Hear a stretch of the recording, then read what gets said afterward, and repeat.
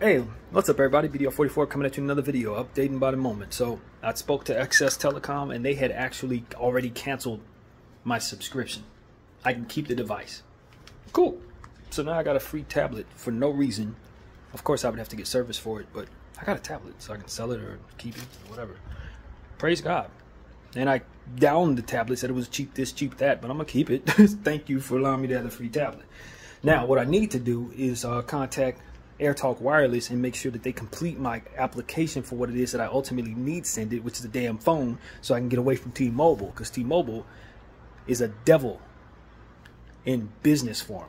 So at this point, I'm going to uh, obviously try to call them and try to see if I can complete whatever needs to be completed so I can get what it is that I actually asked for.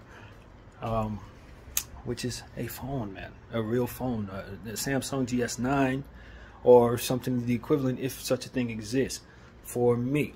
What is this? We placed the request adjustment of $56 plus type if applicable to your account. That's T-Mobile telling me they're going to make me pay the rest of the money later. That, uh, whatever, I think that's what that is. I don't know.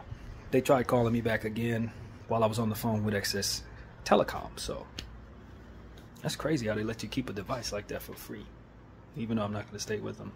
I was so ready to send that back, but that is a really cool blessing. So, yeah, at least me going to pick that device up wasn't in vain because it does get to stay in my possession. I'm frustrated, man. I'm really frustrated. All I really want is a phone. Or even to keep this one if I can just get the hell away from T-Mobile. That's it, man. I need T-Mobile out of my life like I need dirt off my back when I take a shower, man. It's that bad.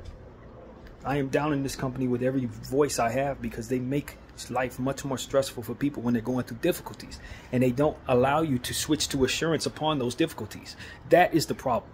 You got subsidiaries and companies that give away free phones, government phones, you got Metro, you got all kinds of stuff. When you know somebody's going through a process, what should be happening there is you cut off their, their contract with your main company and segue it into another company for which you're getting all the money from anyway. Why that's not something they do is the main reason why I'm not messing with them anymore because they'll continue to put you in further debt with their main company when you tell them that you're homeless you tell them that you're in circumstances where you need to bill paid in increments and all different types of stuff they just add on more tax more tax more tax more tax why don't you just slip me over take my account and slip it over to the poor man's account for which I would be able to be able to handle. And I would stay with you and you would still have me as a customer. And when my life get better, I could slip back to the main account and get right back in action. But y'all ain't gonna do nothing like that.